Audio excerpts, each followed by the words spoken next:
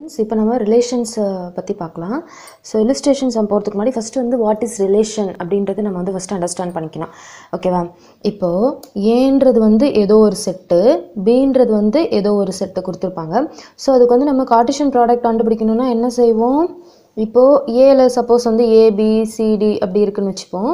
அதுக்கு அடுத்தது இதில் வந்து இஎஃப் ஜி ஃபார் எக்ஸாம்பிளுக்கு நான் வந்து வச்சுக்கிறேன். ஸோ இதான் வந்து ஏன்னு வச்சுப்போம். இதான் வந்து பின்னு வச்சுப்போம். ஸோ இப்போ இதுக்கு வந்து கார்டேஷன் ப்ராடக்ட் கண்டுபிடிக்கும் போது நம்ம என்ன பண்ணுவோம்? எல்லா எலமெண்ட்டோடையும் எல்லாத்தையுமே வந்து பேர் பண்ணுவோம். அதாவது ஏகமா இ ஏகமா எஃப் அதுக்கு அடுத்தது A comma F A comma G so இந்த மாதிரி எல்லாமே வந்து ஸோ இப்போ பின்னு எடுத்துகிட்டு போனால் B comma e, E B comma F B comma G அதுக்கப்புறம் சின்னு எடுத்துக்கிட்டோம்னா C comma E C comma F C comma G டின்னு எடுத்துக்கிட்டோம்னா D comma E D comma F D comma G so இந்த மாதிரி ஒவ்வொரு எலமெண்ட்டோடையும் பியில் இருக்க ஒவ்வொரு எலமெண்ட்டையும் நம்ம வந்து பேர் பண்ணுவோம். இந்த மாதிரி கண்டுபிடிக்கிறது தான் வந்து அந்த ஏ கிராஸ் பி ஓகேவா பட் ரிலேஷன் அப்படின்னா இந்த மாதிரி எல்லாமே வந்து பேர் பண்ணாமல் ஏதோ சம் கண்டிஷனை வந்து இந்த இடத்துல அப்ளை பண்ணணும். அந்த கொஷின்ஸ்லேயே அவங்க வந்து எதாவது சொல்லியிருப்பாங்க. ஒரு கண்டிஷனோ இல்லை ஏதோ சம் ரூலோ வந்து நம்ம இந்த இடத்துல அப்ளை பண்ணலாம். ஸோ அந்த மாதிரி அப்ளை பண்ணும்போது எல்லாமே எல்லாம் எல்லாத்தோடையுமே வந்து பேர் ஆகாது. ஃபார் எக்ஸாம்பிள் பி வந்து e இயோட பேர் ஆகுதுன்னு வச்சுப்போம். அதுக்கு அடுத்தது சி வந்து எஃபோட பேர் ஆகுது. டி வந்து ஜியோட பேர் ஆகுது.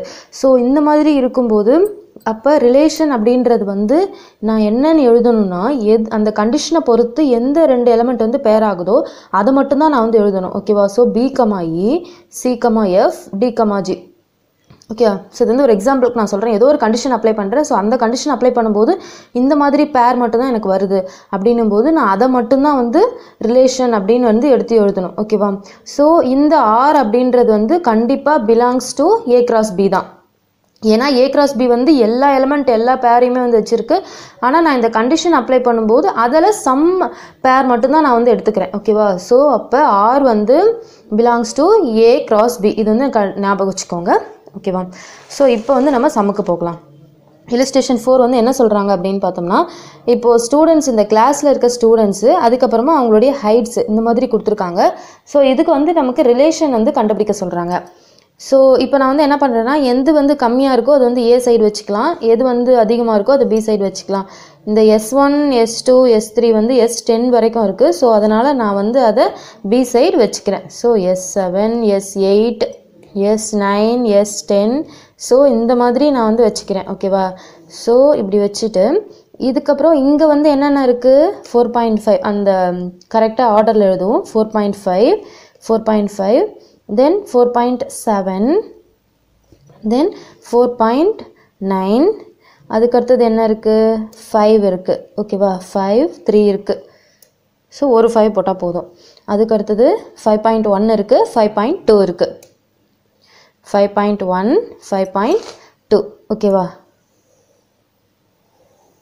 ஸோ இப்போ இவங்க வந்து எது எது எதோட பேர் ஆகுன்ற டீட்டெயில் வந்து கொடுத்துட்டாங்க. ஸோ அதுக்கு மட்டும் நம்ம ஆரோ மார்க் ஆரோ டயக்ராம் வரைஞ்சால் போதும்.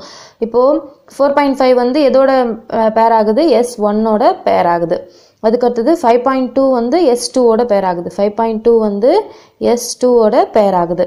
அதுக்கப்புறம் எஸ் த்ரீ வந்து ஃபைவ் ஃபைவ் வந்து எஸ் த்ரீ அதுக்கடுத்தது ஃபோர் பாயிண்ட் ஃபைவ் வந்து எஸ் ஃபோரோடையும் பேர் ஆகுது.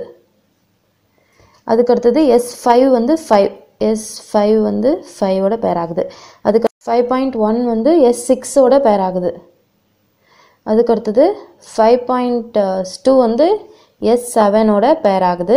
அதுக்கடுத்தது ஃபைவ் வந்து எஸ் எயிட்டோட பேர் ஆகுது. ஃபைவ் வந்து எதோட பேர் ஆகுது? எஸ் எயிட்டோட பேர் ஆகுது. ஃபோர் பாயிண்ட் செவன் வந்து எஸ் நைனோட பேர் ஆகுது. ஸோ இதை வந்து நீங்கள் கரெக்டாக போட்டுட்டிங்கன்னா எழுதி பார்த்து எழுதுறதுக்கு கரெக்டாக இருக்கும் உங்களுக்கு. அதுக்கு அடுத்தது ஃபோ ஃபோர் பாயிண்ட் நைன் வந்து எஸ் டென்னோட பேர் ஆகுது. ஓகேவா ஸோ இது வந்து என்னென்னலாம் நான் பேர் பண்ணியிருக்கனோ அதை ஜஸ்ட் ஆர் அப்படின்ட்டு போட்டு எழுதுகிறேன் அவ்வளோதான் ஸோ ஃபோர் பாயிண்ட் ஃபைவ் வந்து comma S one four point five comma S four அதுக்கு அடுத்தது ஃபோர் பாயிண்ட் செவன் வந்து எதோட பேர் ஆகுது? எஸ் நைனோட பேர் ஆகுது. எஸ் நைனோட பேர் ஆகுது. அதுக்கு அடுத்தது ஃபோர் பாயிண்ட் நைன் வந்து எஸ் டென்னோட பேர் ஆகுது. அதுக்கு அடுத்தது ஃபைவ் வந்து எதோடலாம் பேர் ஆகுது? எஸ் த்ரீயோட பேர் ஆகுது. ஃபைவ் வந்து எஸ் ஃபைவோட பேர் ஆகுது.